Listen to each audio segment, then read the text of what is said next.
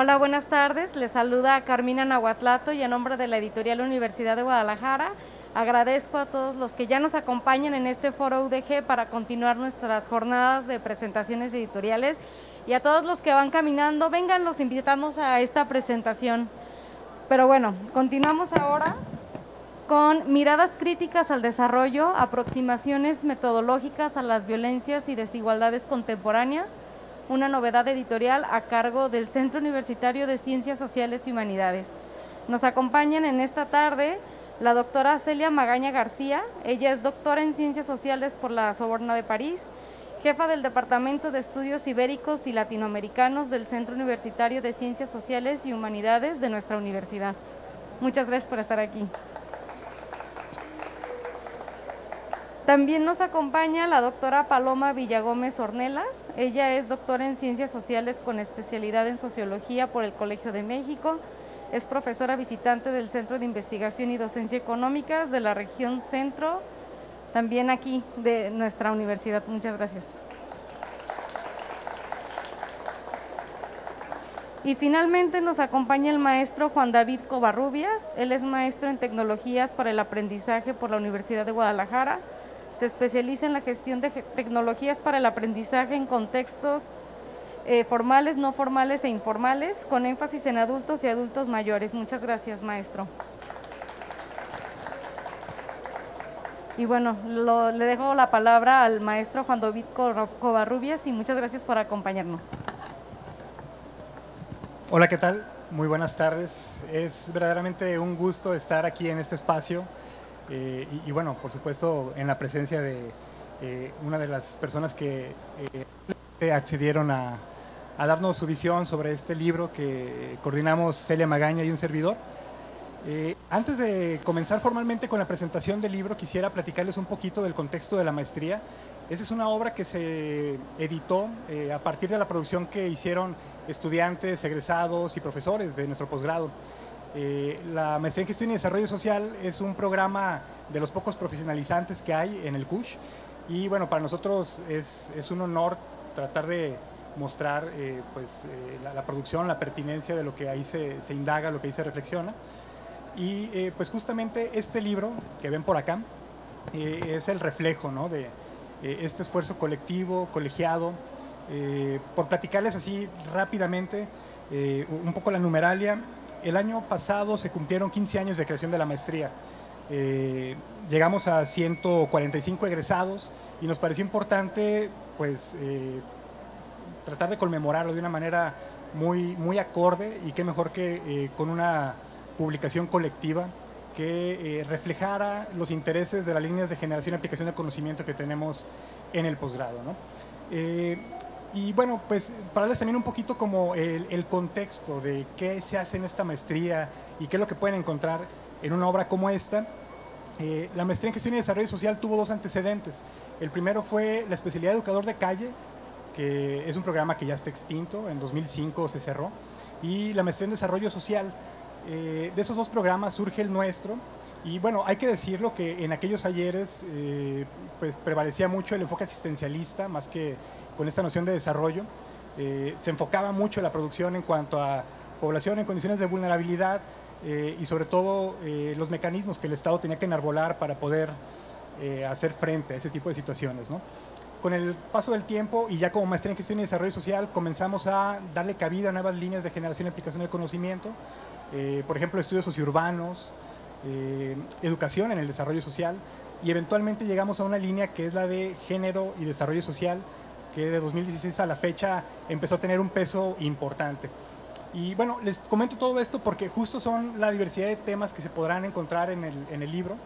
Eh, y me gustaría hacer la voz a, la doctora Celia Magaña para que nos platique un poquito justo de, esta, de esos últimos cinco años que han, que han transcurrido en la maestría, porque de alguna manera lo que ocurrió tras bambalinas es lo que permitió, lo que generó las condiciones para que el libro diera, diera luz. Entonces, si les parece, le doy la palabra a la doctora Celia, luego pondremos unos comentarios que nos dejó el doctor Máximo Jaramillo y por último le damos la palabra a la doctora Paloma.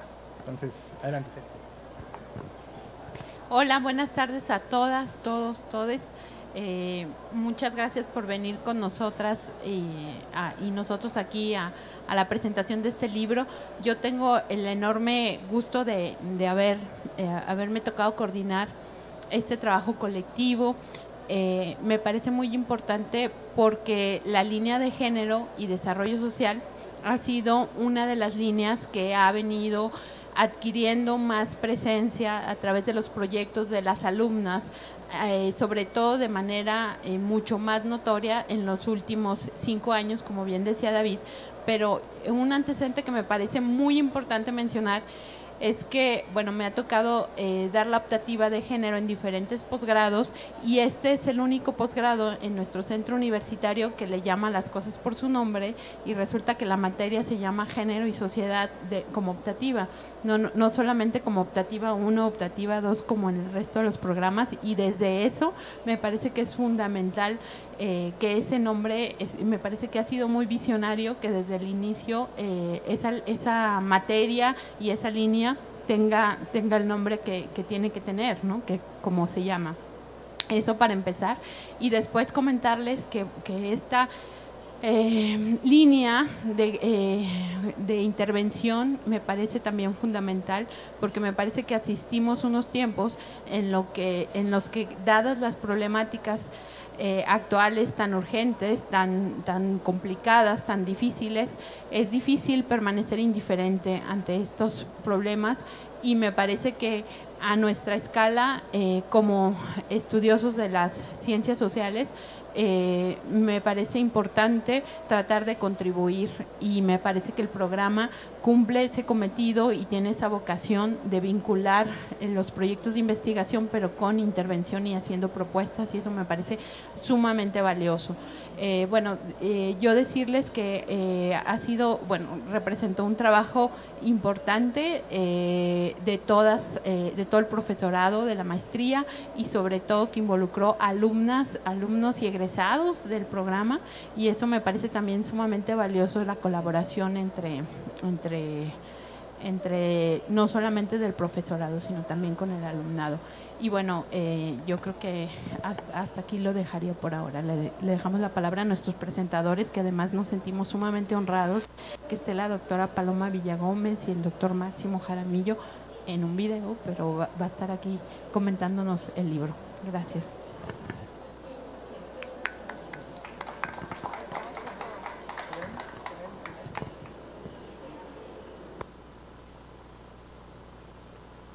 En el cual participé como coautor, las fechas se movieron y bueno, pues eh, muy buenas tardes. Eh, agradezco la invitación a dar los comentarios sobre este libro eh, y me apena mucho no poder estar presencialmente con ustedes. Desgraciadamente estoy justo en alguna de las salas de aquí al lado presentando un informe eh, también en el cual participé como coautor. Las fechas se movieron y bueno, pues hice esta grabación para eh, pues presentar el, libro muy eh, eh, importante de miradas críticas al desarrollo aproximaciones metodológicas a las violencias y desigualdades contemporáneas de eh, Juan David eh, Covarrubias y Celia Magaña como coordinadora y coordinador del libro, que es un libro, bueno, ahorita voy a, la parte, digamos, de, lo importante y, demás, así como los capítulos que, voy a comentar en específico, pero de entrada me parece un libro... Eh, eh, digamos, amplio que pues al final de cuentas junta 27 eh, autores, autoras, eh, tiene 13 capítulos, tres secciones distintas que en general en volumen me parece que ya es un cúmulo de conocimiento sumamente importante. Y eh, bueno, pues al final de cuentas también eh, la idea y el objetivo del libro es mostrar la clara relevancia que tienen eh, programas de posgrado como la maestría en gestión y desarrollo social del Centro Universitario de Ciencias Sociales y Humanidades de la Universidad de Guadalajara. Entonces, la verdad es que nuevamente muy agradecido por tener esta oportunidad para, para comentar estos, estos capítulos. lo decía hace un momento, eh, se divide en tres eh, ejes básicamente eh, el libro. el primero es caja de herramientas metodológicas, violencias, desigualdades y desarrollo social es el segundo. Y tercero, educación y desarrollo social.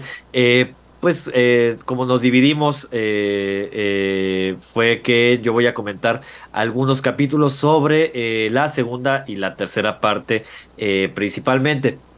Eh, al principio, eh, este capítulo sobre, eh, digamos, en esta parte de violencias, desigualdades y desarrollo social, el primer capítulo que quisiera comentar muy rápidamente porque no tengo tantos minutos, es la violencia como signo de los tiempos de David Coronado y Fátima Gabriela Soto Vargas, que es un capítulo que justo se propone hacer una revisión teórica de la violencia, hablando de, digamos, o una explicación teórica de la violencia en sus palabras. Bebiendo de estas eh, tres corrientes violentógenas que, que, le llaman, la, violencia instrumental, la destructiva y la expresiva, y haciendo un análisis sumamente interesante en, eh, ciertos aspectos específicos eh, de cada una. Eh, a mí el, que me parece no más importante, pero que a mí me llama más la atención y donde me parece que hay justo un abordaje sumamente interesante que nos sirve mucho justo para, para explicar estos capítulos en, esta, en este eje de violencias, pero para entenderlos tal vez más bien, pero en general para este digamos, diagnosticar y entender de mejor manera tal cual la sociedad en la que vivimos actualmente es justo esta parte de la violencia eh, expresiva. Eh, justo se habla mucho de cómo al final de cuentas eh, digamos, hay una subjetividad de la violencia que está relacionada con distintos ejes y procesos sociales. Se habla de la violencia acolchada por dinero consumo, de estas relaciones con el poder, la biopolítica y en general distintas formas que toma la violencia expresiva. Me parece que algo que, que, me deja mucho este capítulo y seguramente también a quienes lo lean será así, es esta parte de el, eh, digamos, el resaltar este, en sus palabras, el, enraizamiento en eh, la vida cotidiana de estas expresiones o esta violencia eh, expresiva me voy más rápido porque ya van cuatro minutos. Bueno, eh, está también el capítulo muy importante y muy interesante de la participación ciudadana en el marco del Programa Nacional para la Prevención Social de la Violencia y la Delincuencia, específicamente el proyecto Promotores Comunitarios 2015 como estudio de caso. Eh, y bueno, es también un capítulo eh, sumamente interesante que hace, digamos que de cierta manera, eh, analiza este eh, proyecto que se hace en la zona oriente de la ciudad de Guadalajara hace algunos años. Eh, un proyecto que incluyó encuestas en el polígono, digamos, cerca de las conias Oblatos. Este trataba de recolectar en ese proyecto y en esas encuestas se trataba de recolectar información y percepción sobre seguridad, específicamente y factores de riesgos de seguridad. Eh, grupos focales, encuestas y demás. Y el capítulo analiza a través de entrevistas eh, a distintas personas eh, que habían participado previamente del proyecto, pues analiza, digamos, las, los aspectos positivos y negativos de, de, de, esta experiencia. A mí me resaltan mucho algunos aspectos que se mencionan, por ejemplo, respecto a la experiencia, justo para tratar de, de, reflexionar en cómo se pueden mejorar este tipo de, de proyectos. se habla justo de poco diálogo desde la empresa el municipio y el Estado para detectar las distintas necesidades eh, de la población, este, poco, eh, digamos, poca presencia entre proveedores y talleristas con quienes estuvieron eh, realmente aplicando esto dentro de la comunidad.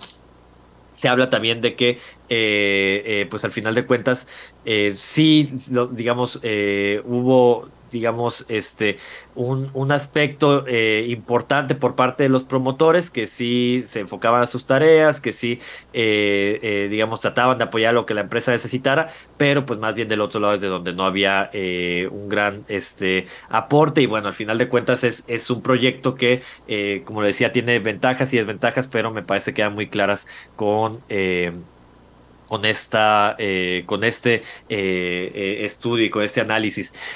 También el artículo de Virginia Bentacourt y Luis Rodolfo Morán eh, llamado del tránsito migratorio de centroamericanos al asentamiento, quedarse eh, en la zona metropolitana de Guadalajara. Es eh, también muy interesante, esto ya es de la parte, digamos, este, más bien sigue siendo de este eje, pero empieza a abordar otros temas, digamos, otras temáticas un tanto distintas. Aquí claramente el tema de la migración es algo que está detrás y que no se puede, digamos, ignorar. Eh, se habla justo de cómo hay, al final de cuentas, una, un abandono, en, palabras de, de, les autores, este, de esta idea esencializante de que la movilidad se, se funda eh, solo en causas estrictamente económicas, ¿no? Que al final de cuentas, pues las causas eh, de la migración son, son múltiples y claramente ahí se tiene que considerar los temas de violencia, los temas de, en general, de precariedad, de inseguridad en, este, digamos, en los países eh, de origen. Y bueno, también habla o cuestiona de manera muy importante eh, ciertas necesidades que tienen las poblaciones centroamericanas que eh, migrantes en la, ciudad, en la zona metropolitana de Guadalajara, que de cierta manera pueden en algún momento ser de tránsito, pero que en otros momentos pueden llegar a tener asentamientos, ¿no? Y en esos eh, flujos de tránsito y esos asentamientos también al final de cuentas necesitan una cierta observación o un, punto de vista para distinto para el desarrollo. Digamos, se habla, justo dicen los autores, no solo es el derecho al tránsito, sino también a distintos derechos, por ejemplo, atención a salud, alimentación, eh, etcétera, con, con las y los migrantes. Entonces, de ahí me parece que se resaltan también cosas muy importantes en este capítulo también el capítulo eh, del desarrollo tecnopolítico y razón de Estado en las desapariciones forzadas de personas eh, de David Coronado y Juan Alfonso Cruz. Es muy importante esta eh, perspectiva. Yo personalmente lo conocía esta perspectiva más desde la tecnopolítica y justo el relacionarlo con el, problema de la desaparición forzada de personas es algo que claramente es muy importante en México, que claramente es muy importante en Jalisco. Se habla mucho justo de eh, como al final de cuentas, eh, digamos, el, Estado es en quien debería recaer esta posibilidad, eh, esta responsabilidad de desarrollar ciertas tecnopolíticas alrededor de la desaparición forzada de personas, aunque también habla de cómo hay ciertas lagunas, por ejemplo, en la ley general en materia de desaparición forzada de personas, en cómo no hay directrices, mencionan, para la construcción, tratamiento y disposición de los datos relacionados con este tipo de, problemática, ¿no? Creo que, que es muy importante este artículo, seguramente, por ejemplo, ahora en el contexto de eh, la creación del Centro Nacional de Identificación Humana, que trata de justo eh, abordar estos, estos, eh, estas problemáticas, aunque en temas presupuestales y demás, que al parecer queda mucho de ver, entonces seguramente los autores tendrán mucho que decir de este, en este aspecto que se sigue desarrollando en el, en el, en el futuro, ¿no? Entonces, también un artículo bien interesante. Eh, para ir cerrando esta, esta participación. Eh, bueno, también en el eje de educación y desarrollo social está el artículo de Visiones Latinoamericanas acerca de la tercera función sustantiva de la universidad, eh, que por cierto yo no sabía cuál era la tercera función sustantiva de, de, eh, la universidad, aquí me enteré claramente que es eh, todo esto que se conoce como extensión o vinculación universitaria, es un artículo de Dalia Lizárraga y María Francisca Sánchez, y bueno, es, es un artículo que justo analiza cuáles son las condiciones este, desde de esta función de vinculación, esta función de extensión, esta tercera función de eh, sustantiva de la universidad, pero específicamente en, eh, digamos, en las universidades latinoamericanas, la especificidad de, de esa función o las posibilidades de esa función en universidades eh, latinoamericanas. además tratan de explicar cómo al final de cuentas estos posibles esquemas de colaboración podrían detonar eh, desarrollo, eh, en, sus palabras, desarrollo en ciertas regiones, desarrollo en ciertas, eh, imagino también en ciertos sectores específicos de la sociedad, y eso pues es algo que, que digamos que, que, sigue siendo una tarea de cierta manera aún pendiente en el al final de cuentas en el país. Y justo se menciona que como una de las de las conclusiones que al final de cuentas este este digamos, esta vinculación, esta extensión, esta tercera función de la universidad, debería dar apertura eh, y diálogo a ciertas estrategias distintas en términos de los saberes, no solamente saberes académicos, sino también saberes populares. Entonces, me parece que estas especificidades en las universidades latinoamericanas son muy importantes y se resaltan poco realmente. Está también el artículo de 30 años de reforma educativa, la precarización docente y su impacto en la percepción social del profesorado de educación secundaria de Manuel Alejandro Muñoz y Claudia Ávila. Y este es un artículo que a través de entrevistas logra mostrarnos muy claramente cómo ha sido, eh, digamos, entrevistas y, mucho material que, que ponen ahí los autores nos muestra muy claramente cómo al final de cuentas se ha ido eh, desvalorizando la imagen de los profesores de, eh, de, educación, en este caso secundaria, pero en general de educación básica, con distintas campañas de desprestigio eh, a las que han sido sometidos para justificar la, reforma educativa de 2012 y en general, digamos, distintas condiciones que, que, han ido, no es nada más la desvalorización simbólica, sino también muestran claramente pues, la desvalorización en términos incluso de precariedad laboral y bueno, pues al final de cuentas, eh, lo que nos terminan diciendo eh, los autores es que estas reformas educativas eh, pues han tenido de cierta manera consecuencias importantes en justo en esta valoración que hay del profesorado y de la percepción social que hay del profesorado en general. Se habla de un imaginario social de un profesorado negligente, contestatario y poco comprometido con el fin último eh, de su función.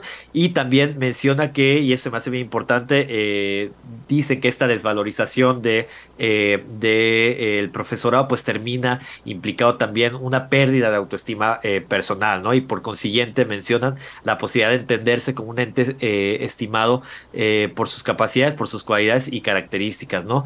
Y pues al final de cuentas, me parece que ese, esa incorporación de esas percepciones y desvalorizaciones eh, sociales eh, populares en los propios y las propias profesores y profesoras es, es algo eh, que encuentra artículo muy importante de resaltar y pues también de claramente de atender en el futuro, ¿no? Y por último, está este artículo de la competencia mediática y desarrollo humano en la educación primaria de Juan Manuel Villarreal y Claudia Ávila, que hablan sobre esta idea de la alfabetización mediática e informacional, que, que las, cuyas siglas son AMI, y bueno, hablan justo de cómo hay, es una asignatura pendiente al final de cuentas en el sistema educativo mexicano. Hay distintas tareas pendientes, promover una conceptualización integral de esta alfabetización mediática, promover la creación de herramientas para la evaluación, eh, eh, pues que cada una de las dimensiones tenga una competencia mediática y el reconocimiento de las instituciones y la incorporación de estas en el, eh, pues de este tipo de, de alfabetización en el currículum escolar, ¿no? Entonces, muestra muy claramente cómo es una tarea pendiente e importante, muestra las dos cosas al respecto en el sistema educativo mexicano. Y bueno, en general, por hablar de, de, cerrar, digamos, esta participación, el libro me parece que a pesar de que aborda una distinta gama de de, digamos, de, temáticas muy bien ordenadas en esos tres ejes que ya mencionaba hace rato. me parece que sí, en general se coadyuvan y se suman para eh, mostrar ciertas precariedades, en, por ejemplo, en lo último que decía, en estos casos en, términos educativos, pero también en temas de eh, violencia, y pues que al final de cuentas hay un montón de pendientes que como sociedad, Estado y en general eh, en el país quedan y que muy claramente diagnostican y que incluso muestran por dónde debería de ir posibles soluciones o posibles formas de trabajarlas en estos capítulos. Y bueno, perdón por lo rapidísimo de, esta participación. Incluso ya vi que estoy justo en los 15 minutos, entonces muchas gracias y otra vez un agradecimiento a Celia eh, eh, por, por la invitación y pues también al coordinador Juan David Covarrubias. Muchas gracias.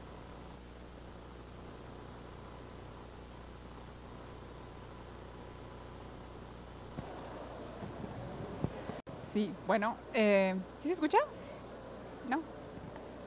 ¿Más? ¿Yo le subo? ¿O qué? Ah, bueno. Este, no sé si quieren aprovechar para sentarse los que están así alrededor. Eh, todavía hay, hay, lugares para las y los interesados. Em, quiero agradecer, por supuesto, la invitación a Celia, a Juan David para presentar este texto. Eh, efectivamente es un volumen eh, amplio. yo creo que lo obvio eh, de decir que una publicación que compila más de 400 páginas con casi 30 autores, etcétera, es pues que es plural, ¿no? Forzosamente, pero en, en temas, voces, en énfasis e incluso en metodologías. Y en este caso, eh, además de ser obvio, es absolutamente cierto. Eh, la estructura temática del documento, bueno, Max ya la comentó, está dividida en tres secciones, una más metodológica, otra más centrada en el tema de violencias y desigualdades. Hay sueños que aparecen de noche y otros de día. Y una Cuando de y un noche los poema sueños son malos, en un performance hay que amansarlos no. con palabras dulces. Si son buenos, disfrutarlos. No sé si esperamos. Si son o- enigmáticos, analizar las pistas que nos dan para entenderlos mejor. Los sueños nos consuelan, nos divierten. Sí. Pudo, pudo ser peor, ¿eh? La sorpresa. Nos fue bien, un momento poético aquí.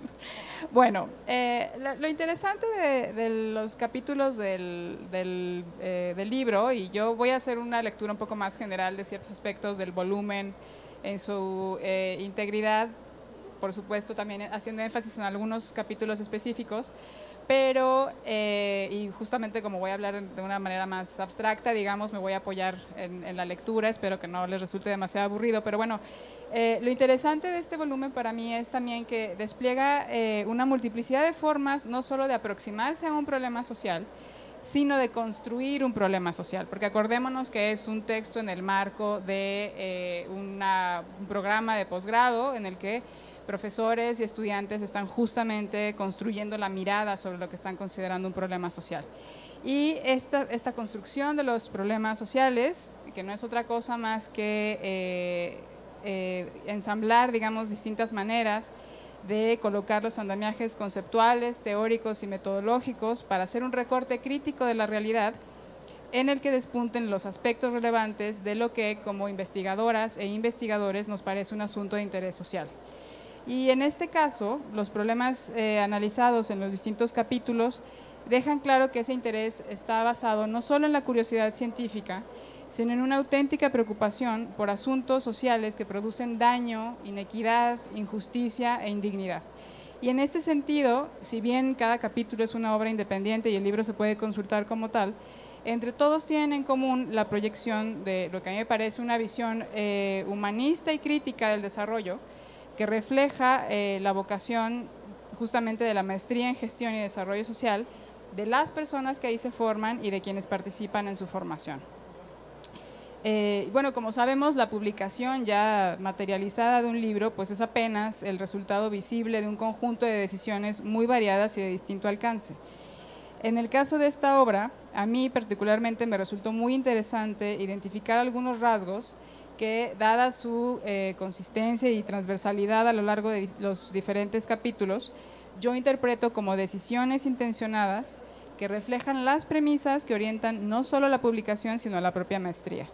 Y esto que yo interpreto como decisiones o premisas no son y no tienen por qué serlo eh, exclusivamente académicas y disciplinarias, sino que, en mi opinión, también reflejan ciertos principios políticos. ¿En qué sentido políticos? Yo sé que es un momento un poco delicado para sugerir una lectura política de los textos, pero eh, quisiera aclararlo. eh, nunca es un buen momento, pa- pa- aparentemente, pero quisiera, quisiera aclararlo antes de, de confundir más. Me parece que son trabajos que admiten una lectura política en la medida en que son un conjunto de compromisos epistemológicos y metodológicos, pero también morales, es decir, de lo que se entiende que es el quehacer de las personas científicas sociales y la vocación de los programas en los que se forman.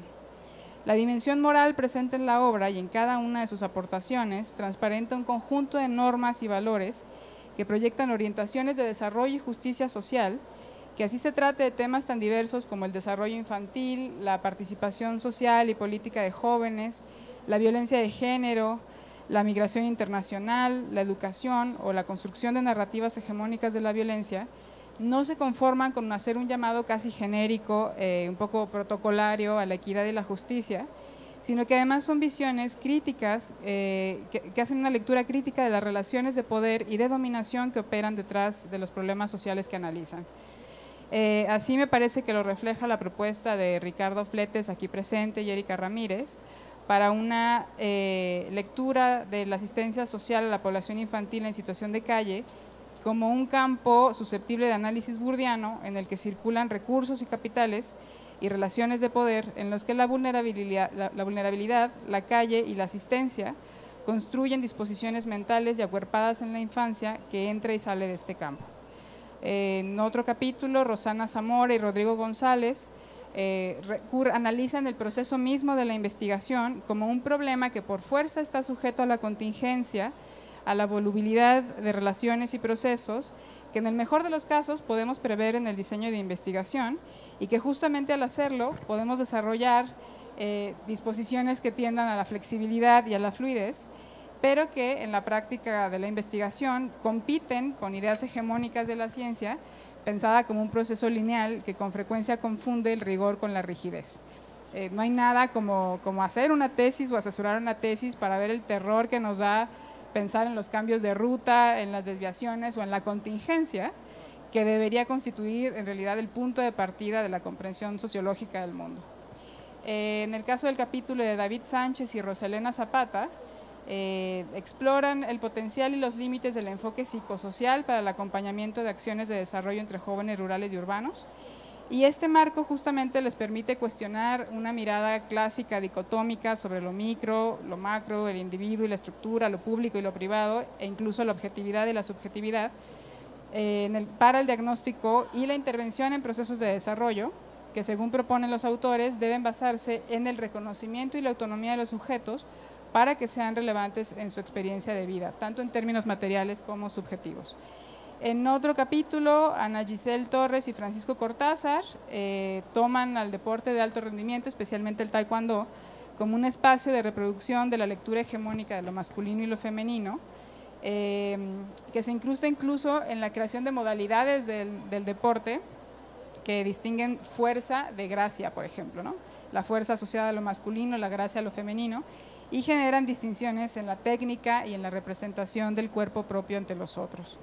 Otro capítulo de Elizabeth Diseño, Adriana Mesa y Jorge Gómez incorporan la perspectiva del curso de vida en el análisis de trayectorias de violencia doméstica de género, identificando procesos de acumulación encadenada de vulnerabilidades que se extienden en el tiempo y se incrustan en la experiencia subjetiva y encarnada de la vida de estas mujeres. Y esta perspectiva les permite identificar puntos de inflexión en los que la intervención pública puede actuar con mayor oportunidad para eh, prevenir escenarios de vulnerabilidad. Em, Celia Magaña, aquí presente, y su coautora eh, Ana Isaí López, también aquí presente, eh, se centran en la experiencia migratoria de mujeres trans centroamericanas para mostrar el efecto de degradación multiplicada e institucionalizada que implica ser mujer, empobrecida, racializada y de identidades sexuales disidentes, en un proceso de movilidad que si bien ha sido históricamente opresivo para poblaciones enteras, recientemente se ensaña con identidades que se consideran residuales o ilegítimas en la distribución de oportunidades, tanto en sus lugares de origen como de tránsito y también de destino. Y cada trabajo, desde su postura e intereses, propone una mirada que me parece que no es solo eh, científica, teóricamente robusta y metodológicamente rigurosa, sino que también es moral y afectiva en términos de las relaciones que construimos con las y los otros empobrecidos, precarizados o violentados, ya sea por acción o por olvido. En este sentido, a mí me parece que los estudios están, que tenemos aquí en el, libro están comprometidos con la visibilización con la comprensión y con el pensamiento complejo como actos políticos que al mostrar denuncian y analizar, al analizar no solo explican, sino que también proponen futuros alternativos. Este me parece a mí un gran aporte de los textos que están compilados en este libro. Y de hecho, entre lo que yo considero un compromiso político eh, de estos estudios, eh, destaca para mí uno de sus rasgos que me parecen más interesantes y apreciables, y es que la mayor parte de ellos busca muy deliberadamente mostrar la agencia de sus interlocutores, ya sea individual o colectiva, transformadora o adaptativa, abiertamente confrontativa o subrepticia. Y es muy grato y necesario, me parece, encontrar análisis de lo social que en el afán de denunciar o explicar no caigan en la exageración, de eh, la exageración del poder unilateral de las estructuras, ni reduzcan a los sujetos dolientes a su experiencia de dolor. Y es que en los capítulos, ya sea que destaquen la capacidad de la niñez para negociar o resistir las reglas de las instituciones asistenciales, o que destaquen la visión crítica eh, de las y los jóvenes para proponer cursos de desarrollo significativos para sus comunidades, o la disposición de ciertos hombres y mujeres para resistir el mandato eh, del sistema sexo-género sobre sus cuerpos y adoptan prácticas simbólicas de sus opuestos o bien eh, en la terquedad de mujeres envejecidas y violentadas que se aferran a instantes de felicidad y de apoyo solidario, o la decisión política de las mujeres trans de recurrir a sus identidades degradadas como escudos, que es lo que nos narran Celia y Ana Isaí. Y todos los estudios eh, se toman el tiempo de mostrar eh, que la experiencia de vida de los grupos dominados trasciende su dominación y tiene algo que proponerle al mundo. En este sentido, me importa destacar también que los trabajos presentados eh, no solo creen en la importancia de la sinergia entre las ciencias sociales, la organización social y el Estado en la atención de las necesidades de estas poblaciones, eh, sino que en congruencia con los objetivos de la maestría, los estudios son críticos del papel de las instituciones públicas, pero al mismo tiempo demuestran la necesidad de fortalecer su rol. Y a mí esto me parece particularmente promisorio si pensamos que las y los egresados de este programa eh, que hoy además son autoras y autores, pueden llegar a ser o ya son participantes activos de estos procesos desde cualquiera de estos espacios. Em, sobre ellas y ellos, las y los autores, también me parece importante hacer notar, casi como una nota a nivel organizacional, eh, que la lógica de la publicación misma también puede pensarse como una apuesta eh, por la transformación de las relaciones de verticalidad y jerarquía que dominan en la academia. Por si ustedes tenían dudas, eh, no es frecuente que los tutores y los estudiantes escriban a cuatro o seis manos y que las y los egresados tengan la oportunidad de contar con una publicación promovida por sus propios programas. Eh, los trabajos son de muy alta calidad, lo que sin duda eh, alguna se debe a la buena orientación de las y los tutores, pero también me parece innegable que interviene el talento de las y los posgraduados que no solo mostraron la asimilación y la aplicación crítica de conocimientos, sino también un elevado compromiso con las problemáticas sociales que inspiraron sus trabajos. Eh, ya casi para cerrar este punto, la, colaboración, digamos, entre eh, tutores y estudiantes refuerza mi argumento sobre la naturaleza política de la obra, en particular porque eh, buena parte de los proyectos de investigación que derivaron en estos capítulos son resultado de la participación activa de sus autores en organizaciones o redes de apoyo eh, solidario con poblaciones vulneradas. Este aspecto a mí se me hizo muy interesante y creo que sería también eh, muy ilustrativo conocer la opinión de estudiantes y asesores en torno a los aportes mutuos que debieron haber surgido durante el desarrollo de los proyectos de investigación.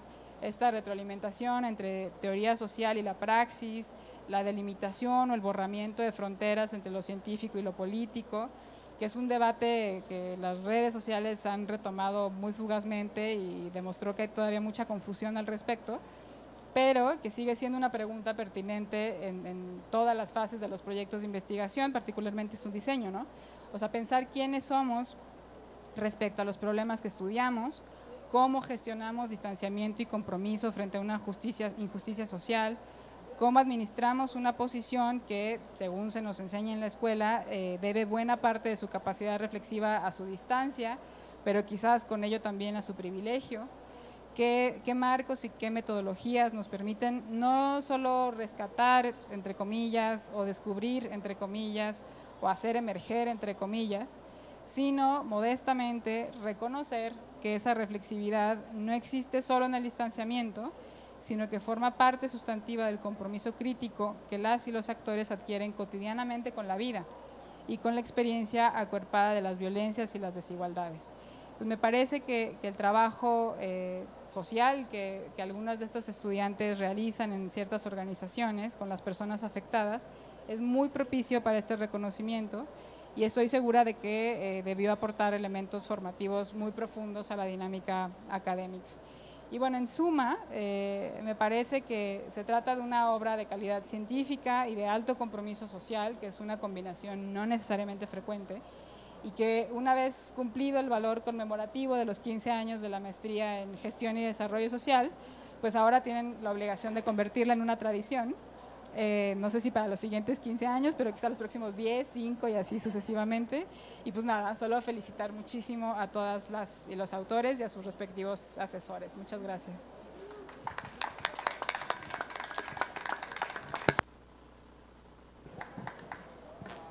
Bueno, pues eh, agradecemos estas gentiles eh, palabras de, la autora Paloma. Eh, me gustaría, no sé si tenemos tiempo para comentarios de las personas que, acuden. Eh, creo que si alguien tiene alguna inquietud, podemos aprovechar que hay autores, bueno, estamos los coordinadores de la obra, autoras. no sé si alguien de los aquí presentes...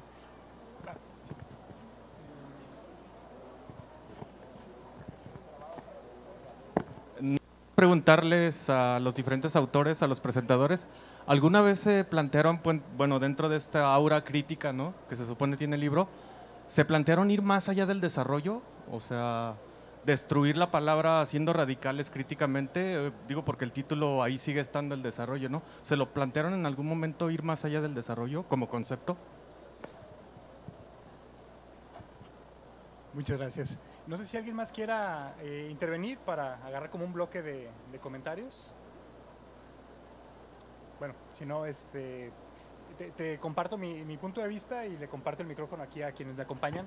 Eh, sin duda, créeme que eh, la noción desarrollista es a quien tenemos, digamos, en la mira recurrentemente para observar nuestro actuar como científicos sociales y también para tener un referente de, aquello que a veces engloba solamente una noción paneconómica y que es insuficiente y que nos obliga pues a decantarnos por otras miradas que tienen que ver quizá con el decrecimiento, con eh, el florecimiento humano, con otras nociones, otros paradigmas pues que eh, no pueden quedar encasillados en, en esta noción eh, oicocéntrica, que, que, a veces es insuficiente, ¿no? O sea, eh, digamos estas nociones macroeconómicas que regularmente se asocian al desarrollo no son tan compatibles con la visión que perseguimos como posgrado. No las obviamos ni las hacemos a un lado, pero tratamos de ponerlas justamente en una digamos, eh, en un espacio adecuado que nos permita dialogar con él de una manera crítica, por así decirlo. No, eh, no sé, Celia, si tú quieras... bueno. No sé si hubiera alguna otra pregunta. Eh, no, sí, la idea es utilizar la crítica al concepto. ¿no? de ahí lo de miradas críticas, pero en efecto es eh, un concepto que no sabemos cómo ha sobrevivido, ¿verdad? Es lo primero que tendremos que preguntarnos eh, y hasta dónde o cómo podemos hacer para, para trascenderlo, ¿no? Ya, ya le ponemos en plural desarrollo, ya le ponemos un montón de calificativos para atenuarlo, ¿no? Desarrollo que es sustentable, pero en efecto es una hay un campo problemático que sí necesitamos este seguir reflexionando pero para, para ver qué vamos a hacer con eso. Agradecemos la pregunta. Muchas gracias. Pues no sé si alguien más quiera tomar la palabra. Eh, no sé si nos dé tiempo como para los autores rápidamente si alguien quiere comentar algo Ricardo Isa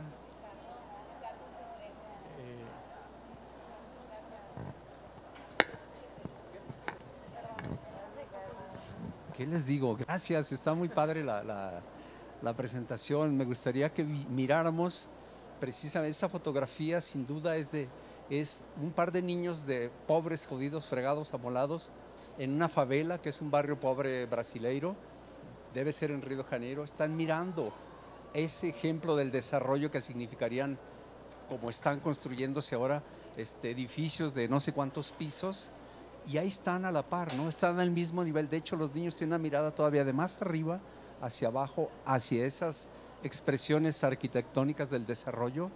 Y me parece que la imagen, bueno, cuando yo la vi dije, esto es el ejemplo de una mirada, bueno, lo queremos hacer como una mirada crítica del desarrollo o al desarrollo, pero, este, pero esa diferencia y esa simetría está súper presente en esa imagen creo, por la pregunta que hace acá el compañero, bueno, el chino, es un, es un personaje muy padre, bueno, muy, muy a todo dar, y, este, y creo que nos, nos debe, creo que es una de las preguntas que tenemos siempre de manera permanente, en, ah, en los trabajos que hacemos, ¿no? Es que el, hecho de, como él mismo dice, de seguir nombrando el canijo desarrollo, que no es desarrollo, ¿verdad? Porque aquí tenemos este, en América Latina un ejemplo de que eso que han llamado desarrollo, pues no lo es. Y entonces creo que, pero por otro lado, creo que en, en la medida, y, y creo lo dijo la doctora Paloma, en la medida en que estos textos abren, dan voz, eh, critican a, eh, estos conceptos y le dan como esa fuerza o esa agencia a los sujetos o a los agentes para que, sea más congruente, eh, permite un poco, digamos, contrarrestar el peso de la estructura sobre esa, esa mirada dominante del desarrollo, ¿no? que además es abrumadora, ¿no? por todos lados, por la, el gobierno federal, los organismos internacionales, las, las, este, los poderes eh, políticos y económicos están bajo esa mirada, siguen en esa mirada de desarrollo. Yo creo que después de la Segunda Guerra Mundial permanece ahí, ¿no? Bueno, ya, ya mudaron de, progreso, ya no le llaman progreso, ahora le llaman desarrollo. Y ahora de, desarrollo sustentable y desarrollo integral y desarrollo su abuelita, pero ah, no han conseguido revertir los efectos sociales nocivos, dañinos, que generan millones, o sea, no cientos, sino millones de personas empobrecidas y miserables, ¿no?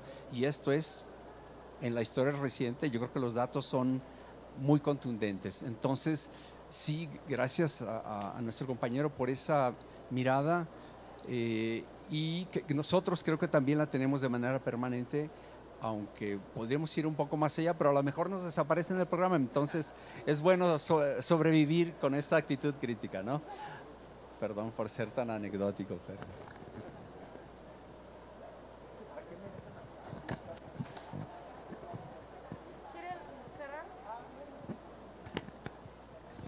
Bueno, pues agradecemos mucho el tiempo de su atención. Les invitamos a que consulten la obra, está en formato impreso, por aquí creo que trajeron ya algunos ejemplares a la venta y también se puede consultar en versión PDF. Entonces, pues bueno, eh, la invitación queda abierta y nuevamente agradecerle a la doctora Paloma Villagómez, al doctor Máximo, aunque está ausente de momento, pero agradecer su intervención, a la doctora Celia Magaña, por supuesto. Muchas gracias.